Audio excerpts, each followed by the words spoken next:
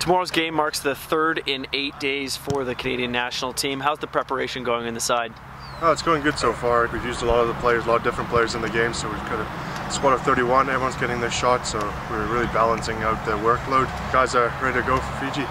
Uh, preparation's going really well actually. I think the boys are on a, a, bit of a high, which is great. Still got our feet on the ground though. Uh, we've got a lot of work ahead, and we need to work on our roles to make sure we come away with a win on Sunday. Fiji are fresh off winning the Pacific Nations Cup and they're known for being an expansive, fun style of rugby. How are we going to stop that tomorrow? Well, we just got to play our own game. You know, we know what their their special guys can do. They've got key key players. We got to shut down in defence, but most of all, we have to concentrate on our on our own defence and our own attack, and hopefully you know all the work we've done over the PNC and leading into the World Cup will play off tomorrow. We can get a good result.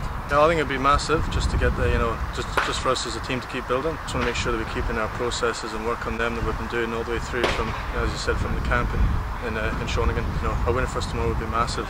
Give us huge confidence going into our first game of the World Cup final preparation game leading into the World Cup. How's the attitude in the squad now? Must be a lot of excitement. You know, guys are starting to believe, even if I think we, if we didn't get the results in the last two games, the, the, the, confidence is really building in the team. You know, we're getting into our structure, everyone's understanding it, and I think the eight games pre-World Cup is really paying off now that we're getting right to fire.